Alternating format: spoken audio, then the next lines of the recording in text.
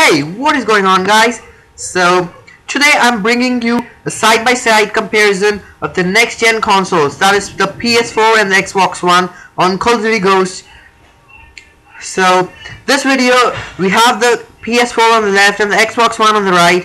So, I'll be showing you uh, some full-screen uh, video footage of the gameplay of both the consoles um, as we have came to know that the PS4 is uh, full HD 1080p but the Xbox One is uh, only 720p uh, it really doesn't matter when you play on a small screen like a monitor or a uh, TV uh, under 33 inches but if you're on a large TV you'll definitely notice some changes uh, over the Xbox One.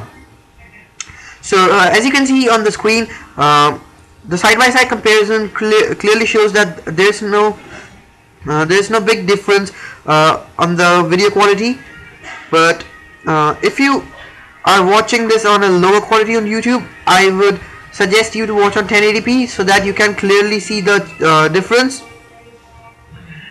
And um, as you can see uh, as I have noticed in the gameplay of both consoles the PS4 has uh, is brighter than the Xbox One. And um, mm, I haven't noticed uh, such big changes.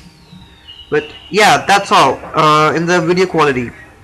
So and uh, I just wanted to tell you about the KEM Strike gameplay on my channel. So uh, you guys make sure you check that out. And um, I'll be uploading another video uh, today itself or uh, later or tomorrow talking about the problems with Xbox One and the PS4 so make sure you guys check that video out and uh, if you really like this video make sure you give uh, give it a thumbs up and um, comment in the comment section if you're facing those problems with the Xbox One or the PS4 so uh,